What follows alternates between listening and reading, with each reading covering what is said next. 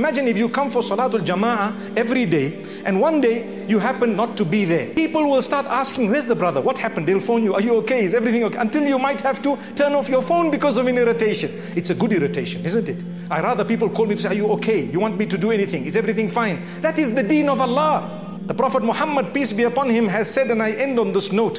He says, Believers are like one body. If, a, if a, an organ from the entire body is in pain, the whole body suffers insomnia and is in pain. Today, when an organ is in pain, you know what we do?